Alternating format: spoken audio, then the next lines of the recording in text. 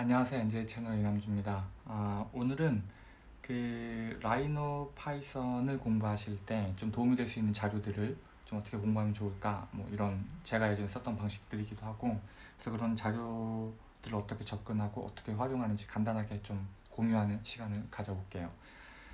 음, 우선은 그 사실 그 그라스호퍼에서 라이노 파이썬 그러니까 엄밀하게 이야기하면 IronPython이죠 C샵으로 이제 파이썬을 액세스하게끔 만드는 건데 어쨌든 그 이전에 이제 그라스호퍼 이전에 이제 파이썬이 자체적으로 지원이 됐죠. 그래서 사실 edit 파이썬 스크립트라고 치게 되면은 이제 파이썬 환경이 나오죠. IronPython이 나오고 여기서는 이제 여러분들이 이제 옆에 보시면 RhinoScript syntax라고 있죠.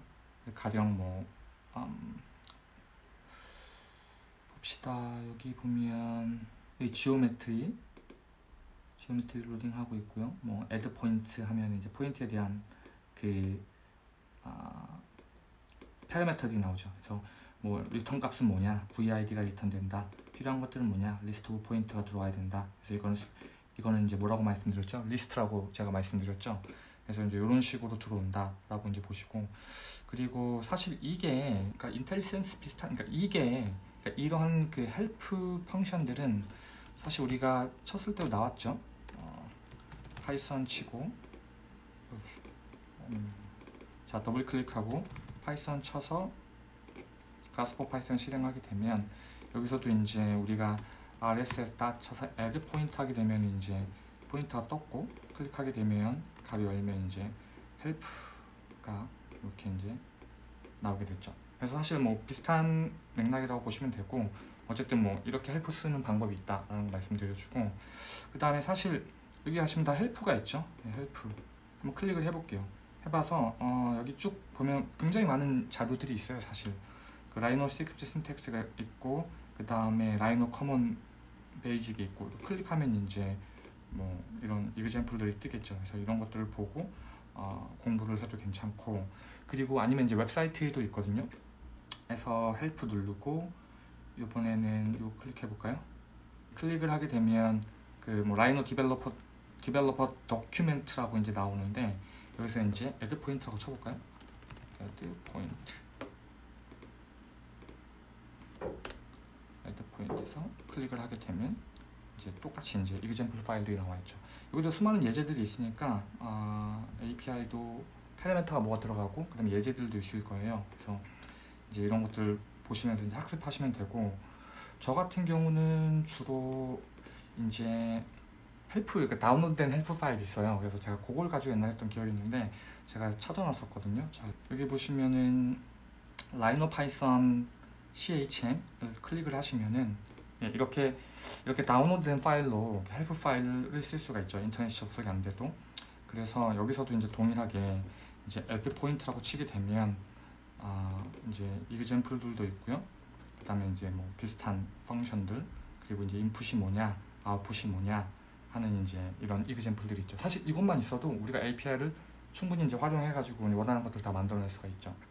그래서 이 정도로 보시면 될 것 같고 제가 이 파일은 제가 링크를 따로 걸어 드릴게요. 그래서 요 다운로드 받으셔 가지고 로컬로 놓고 쓰셔도 되고 여러분들 여기 구글 창을 하나 여시고 그리고 여기서 Rhino development라고 치시게 되면 이제 첫 번째 예, Rhino and Grasshopper development documentation이라고 나오죠. 여기 보시면은 이제 뭐 Rhino Common이나 Rhino Python, openNURBS 혹은 C, C++ 이런 걸로 이제 개발을 할 수 있는 이제 API들이라든지 이제 다 어떻게 다운로드 받고 설치하냐 이런 것들이 나와 있고 저도 다 이런 거 보고 이제 공부했죠. 그리고 여기 샘플 가보시면은 아, 예제들도 동일하게 또 있죠. 그리고 그뿐만 아니라 다양한 뭐 C++, 뭐 Grasshopper, Rhino Script 여러 가지 이제 example 파일들이 있기 때문에 사실 이 웹만 잘 활용하셔도 여러분들이 거의 얻을 수 있는 정보들은 다 얻을 수가 있어요. 사실은 뭐 유튜브 찾아보시고 뭐 다른 링크 찾아보시는 것도 도움되지만 사실 다 여기서 이제 파생이 되는 거기 때문에 여기 있는 예제들을 잘만 활용하고 잘 이해해도 좀 이 웹사이트랑 친해지시면은 많은 정보를 얻을 수가 있어요. 여기도 있죠. Rhino Script syntax 우리가 지금 포커스하고 있는 거죠. 클릭을 하시면 뭐 아까 봤던 뭐 예제들도 있고 뭐 하나 해볼까요? 뭐 찾아볼까요? 아 서클 음, 그래서 이거 같은 경우는 그 object를 선택하는 거고 사실 이거 같은 경우는 그 Rhino 아까 보여, 보여드렸던 edit Rhino Python 그걸 거예요 맞나? edit edit Python Script네 edit Python Script 창에서 이제 실행을 하는 거고 그렇기 때문에 이제 인풋을 따로 받아올 수 있어요 우리 Rhino command 쓰듯이 그 다음에 이제 이게 circle이라고 한다면 이 circle의 radius 값을 가져오고 그래서 출력을 하는 이제 그런 example에 대한 예인 것 같네요. 사실 이거 뭐 Grasshopper 같은 이게 필요 없죠. 바로 인풋으로 넣으면 되니까 Grasshopper Python 같은 경우는요. 그래서 이렇게 활용하시면 될 것 같고 이뿐만 아니라 이제 C# 디벨롭먼트나 그라스호퍼 플러그인 만드는 거라든지 그런 것들도 이제 제가 나중에 시간에 만들게 비디오를 만들겠지만 그런 것들도 다 찾아보면 이제 그 Rhino development documentation에 찾아보면은 다 많은 자료들이 있기 때문에 아, 그런 것들을 좀 이렇게 탐험해 보시길 제가 권해드리고 그 정도로 이제 말씀드릴 수 있을 것 같아요. 저도 사실 다 이런 식으로 공부를 했고 어, 여러분들이 필요하신 그 제가 앞에 언급해드린 help 파일이라든지 아니면 Rhino 웹사이트를 통해 가지고 여러분들이 저도 사실 그렇게 공부했기 때문에 여러분들도 동일하게 원하시는 자료 같은 것들 다 구해서 볼 수 있을 것 같습니다.